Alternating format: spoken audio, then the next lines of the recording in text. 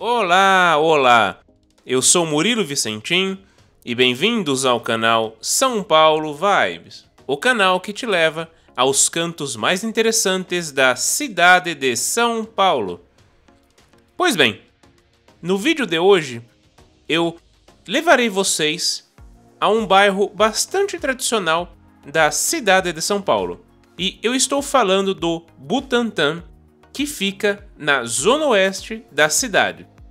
E este distrito é administrado pela subprefeitura do Butantã. Então, embarque comigo neste passeio e aproveite as imagens.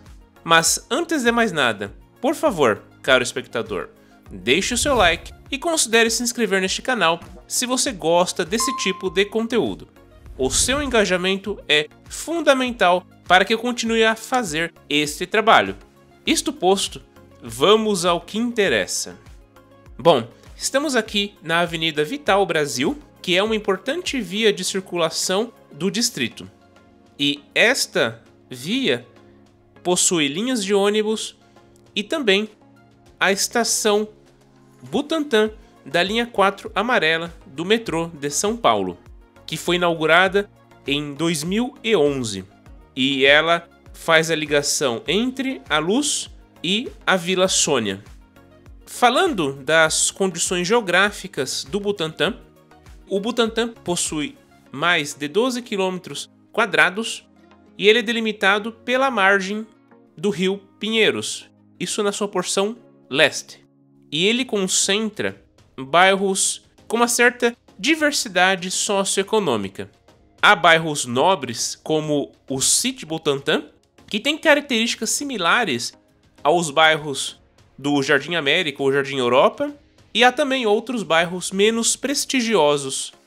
De uma maneira geral, alguns bairros se destacam, como a City Butantã, que eu falei agora há pouco, temos a Vila Indiana, a Vila Pirajussara, temos o Jardim Bonfiglioli, o Jardim São Gilberto, o Jardim Ademar, Jardim Matarazzo, dentre outros.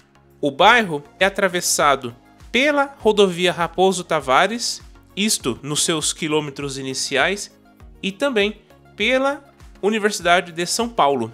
E não podemos esquecer do famoso Instituto Butantan. Mas afinal, de onde vem o nome Butantan?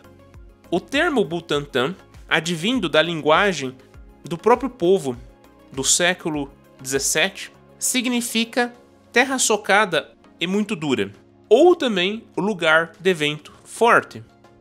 Historicamente, a região do Butantã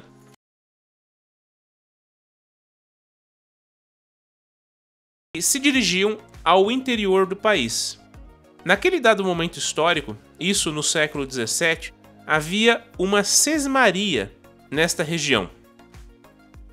Esta sesmaria foi doada para a igreja do Colégio São Paulo. Já no século XVIII, em virtude das ordens impostas pelo Marquês de Pombal, houve a expulsão dos jesuítas do Brasil. E os jesuítas que se encontravam na região do Butantã não seriam exceção a esta ordem, de modo que as terras que pertenciam a eles foram confiscadas e vendidas. Deste modo, estas terras passaram a ter novos proprietários. Um dos últimos proprietários da região foi a família Vieira de Medeiros, que vendeu as terras para a famosa companhia City em 1915. A companhia City, por sua vez, foi responsável por urbanizar regiões localizadas nas margens do Rio Pinheiros, e ela promoveu uma série de modificações que trouxeram charme e muitas melhorias a esta região que era caracterizada pelas enchentes do rio Pinheiros. A propósito, se você não viu o vídeo no qual eu comento alguns detalhes sobre o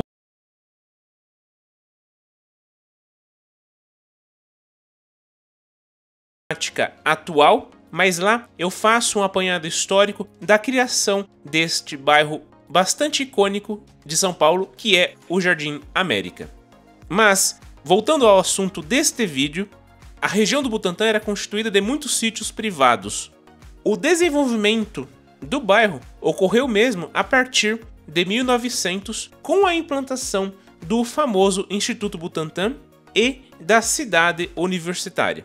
O Instituto Butantan foi inaugurado oficialmente no ano de 1901.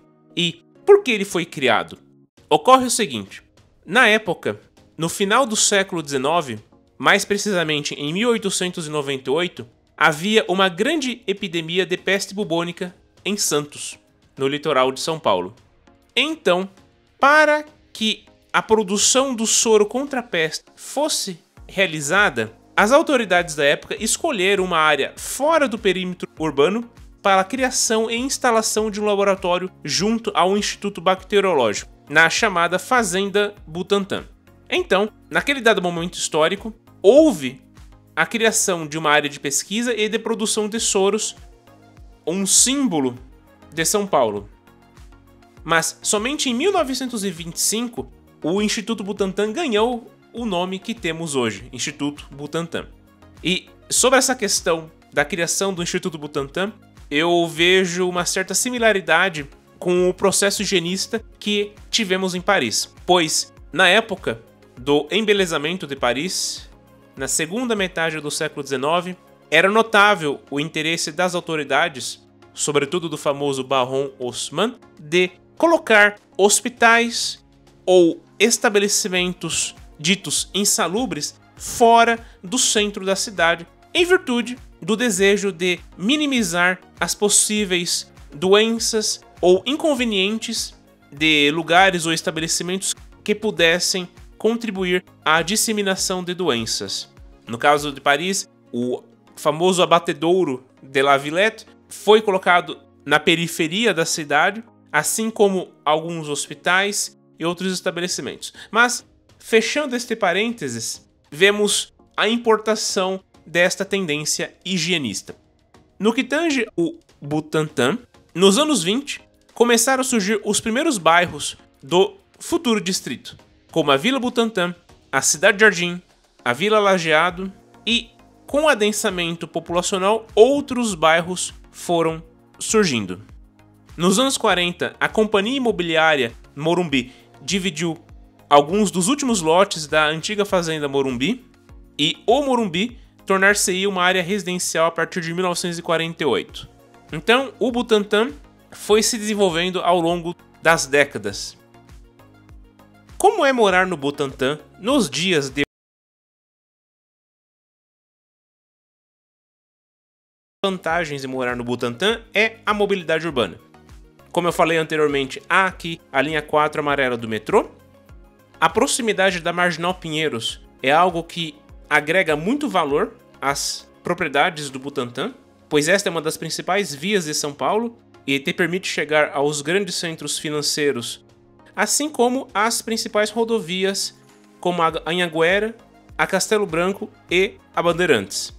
No que tange à educação, há várias escolas no distrito mas a principal instituição do Butantã é certamente a cidade universitária, que é a sede da Universidade de São Paulo, conhecida por ser a principal instituição de ensino superior do país, distribuída em mais de 8 milhões de metros quadrados. No que tange ao lazer, o Butantã possui o Parque da Previdência, que é um parque com mais de 91 mil metros quadrados, que foi inaugurado no final da década de 70, e nele há o Museu do Meio Ambiente. Há também o Parque Raposo Tavares, que conta com mais de 195 mil metros quadrados. E há um detalhe: este parque se localiza na área onde foi o antigo aterro sanitário. E é um parque que possui as amenidades necessárias, como pista de caminhada, quadras poliesportivas, campos de futebol e muito mais. Há também um outro parque, que é o Parque Esporte para Todos, que é um parque focado na realização de atividades físicas. Outro ponto positivo na área do lazer é a presença do shopping Butantan, ou melhor falando, Butantan Shopping, que foi inaugurado em 1994 e apresenta todas as conveniências de um shopping. Então, há muitas pessoas que se interessam pelo Butantã e, por conta de todos estes aspectos, muitos desejam morar aqui. Mas você, caro espectador, você conhece o Butantã? Ou você mora no distrito? Conte-me mais sobre a sua experiência ou o que você acha do bairro. Eu ficarei feliz em ler o seu comentário. Bom, meus caros, o vídeo chega ao fim e eu espero que você tenha gostado deste conteúdo. Por favor, deixe o seu like e considere se inscrever no canal São Paulo Vibes. Eu fico por aqui e nós nos vemos no nosso próximo encontro. Até mais, tchau!